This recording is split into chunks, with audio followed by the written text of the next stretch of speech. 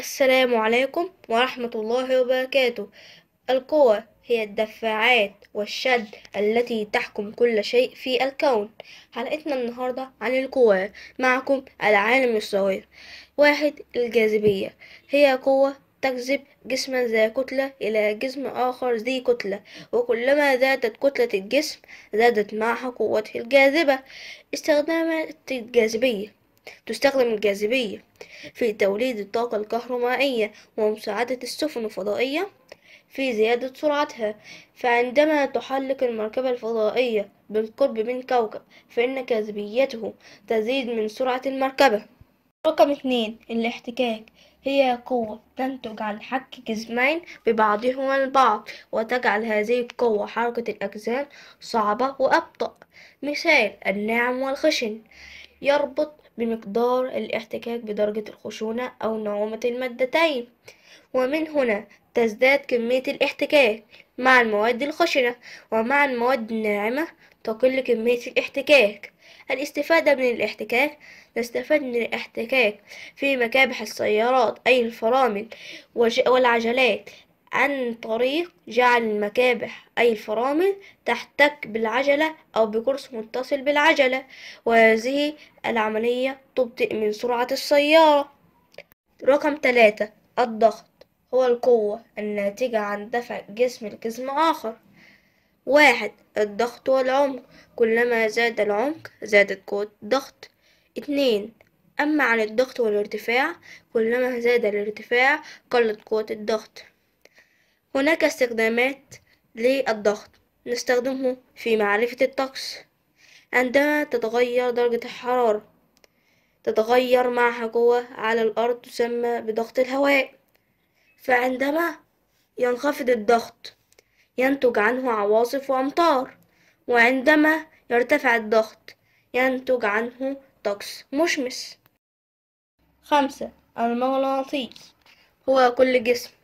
يولد حقلا مغناطيسيا.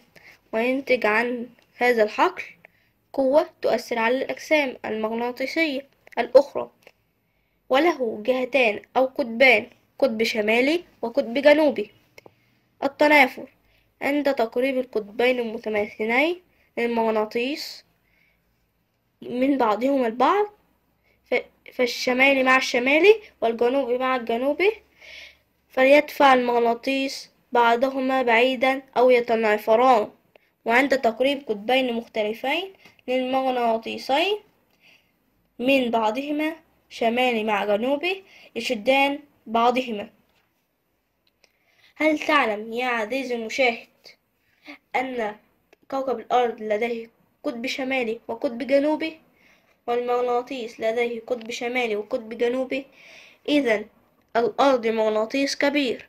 ويدل على ذلك أن دوران المعادن في لب الأرض يصنع حقلا مغناطيسيا. لذلك تعتبر مغناطيس كبير. أربعة القوى الذرية. تعتبر الذرات من أصغر مكونات المادة الموجودة في الكون ولكنها مشحونة بقوة كبيرة وتستخدم في علاج المرضى وتوليد الكهرباء من داخل الذرات.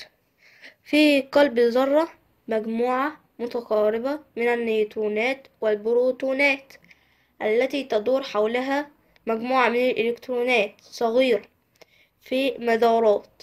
الإلكترونات تحمل شحنة سالبة. أما عن البروتونات تحمل شحنة موجبة. أما عن النيوترونات لا تحمل أي شحنة. قسم الذرات. عندما يتم إطلاق نيوترون نحو ذرة يورانيوم فتحرر طاقة وتطلق نيوترونات وهذه النيوترونات تنطلق نحو ذرات يورانيوم أخرى. وهذه العملية تسمى بتفاعل الانشطار النووي. دي كانت حلقتنا النهاردة. وفي النهاية هي بداية لحلقات أخرى. كان معكم العالم الصغير من قناة دردشة علمية.